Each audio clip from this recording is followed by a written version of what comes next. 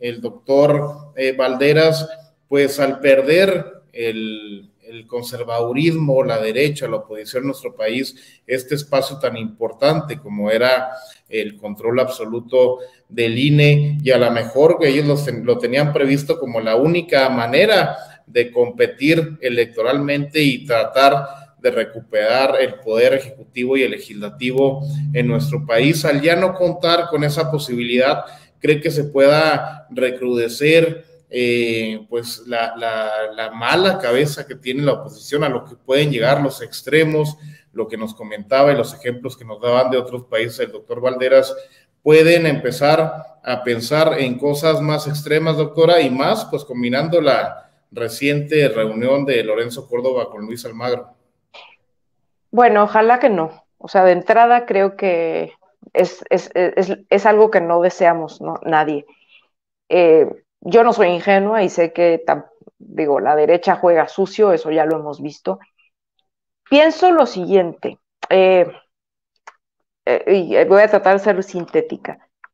Eh, durante los primeros años de este sexenio, más o menos, pues supongo que además después del fracaso que recibieron electoralmente hablando después del 2018 y el golpe de realidad, pues como que digamos que los sectores conservadores, la derecha, eh, pues se mantuvo, digamos, más o menos tranquila. Eh, no han sido exitosos en su intento de eh, organizarse y, por ejemplo, disputar a nivel electoral y ganar en el 2021 en las elecciones intermedias salvo en algunos puntos, como la Ciudad de México, que ellos lo magnifican mucho, ¿no? Donde ganaron algunas posiciones y lo magnifican mucho. Pero lo cierto es que en el resto del país, bueno, perdieron gubernaturas y demás, y realmente el país se pintó de guinda, ¿no? Entonces, no han sido realmente exitosos. Me, preocupa que su en su desesperación empiecen, tal vez no directamente y de manera en un horizonte cercano, pues a, ejercer la violencia como en los casos que, ha puesto como ejemplo el doctor Valderas. Ojalá que no, ¿verdad? Que nunca lo veamos en este país. Pero lo cierto es que sí me parece que sus eh, artimañas y sus estrategias sucias pueden ir más bien por estas eh, formas como de las guerras legales, ¿no? Como lo que se llama lawfare, ¿no? Entonces, esto, por ejemplo, de estar eh, pues boicoteando prácticamente, imposibilitando que se den, pues eh, por, en este caso el plan B y como han boicoteado otras cosas.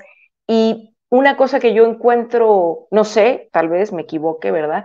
Pero encuentro que hay algo ahí en el discurso, que los empiezo a leer, que empiezan a, decir que las elecciones del 2024 eh, pues van a estar cuestionadas, ¿no? Porque el INE eh, pues está vulnerado con las intenciones del presidente de hacer esta reforma y por lo tanto, bueno, ahora con, con estos nuevos eh, consejeros que algunos aparentemente están, según la oposición, del lado oficialista, es como prácticamente, ese es lo que yo veo en el discurso que están diciendo, que es un poco la antesala a unas elecciones cuestionadas o a la posibilidad de que, dicho así, Andrés Manuel López Obrador vaya a ser un fraude. O sea, ellos creen que usando esa retórica de lo que ellos realmente hicieron, ellos sí hicieron fraude, ellos sí impidieron la llegada de la democracia a este país, ellos sí eh, disfrazaron eh, todas las componendas eh, entre dos partidos prácticamente que fue el PRI y el PAN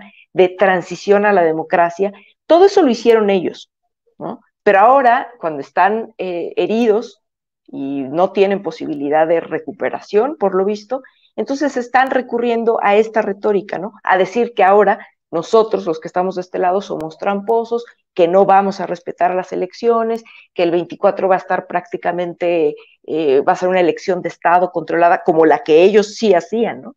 Entonces, me parece que tal vez no van a recurrir ahora mismo a una, pues, posibilidad violenta como tal, pero pues, de que van a insistir en ensuciar eh, la transformación con este tipo de, artimañas y de meter duda y de eh, generar suspicacias, sí. Lo bueno es que tenemos un pueblo muy consciente cada vez y tenemos ciudadanía cada vez más informada, a pesar de que eh, hay todo un complejo de medios de comunicación que están absolutamente en contra de este gobierno. Pero para eso, y qué bueno que existan estos espacios como sin censura.